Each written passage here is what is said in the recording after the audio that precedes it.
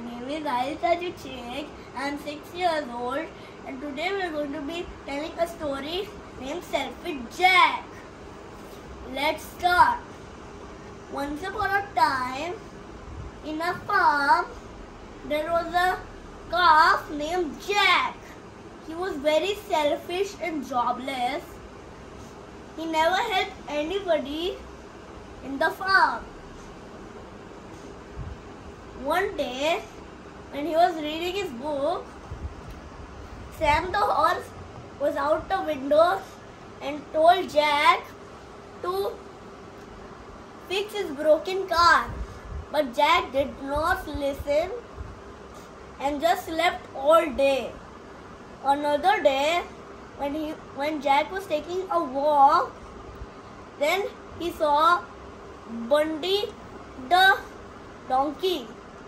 Bundy the donkey told him to pack his luggage of wool, but he did not listen and acted like his elbow was paining. Another day, Tori the cat came to his house when he was playing games on his iPad. And Tori, Tori the cat told him to please catch the naughty mice. But Jack kept playing his games on his iPad. And and another day, Dorothy the hen told him to take her eggs to the supermarket, but he just ignored and slept all day again. The animals were working so hard, and Jack was playing on the water near the pond. But in few days, Jack got a fever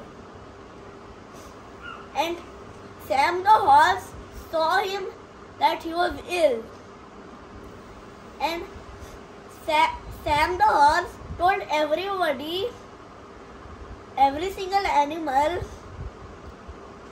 and that they did not know that Jack was sick. So they decided to help Jack and Bundy the donkey called the doctor and Dr. Cat gave him medicine. It's not Tori the cat. Tori the cat was an orange cat and the Dr. Cat was a grey cat and all the other animals gave him fruits to eat and Dorothy the hen flapped her wings like to make air for him.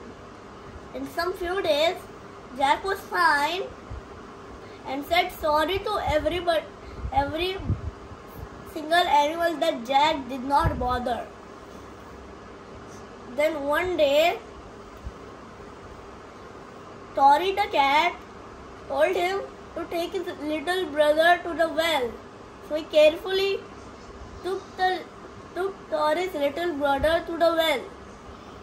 Another day, Doro, Dorothy the hen told told him to keep keep her eggs to the supermarket, and in a rush he did it without with carefully, and everybody he had so much good friends and they called him the helpful calf.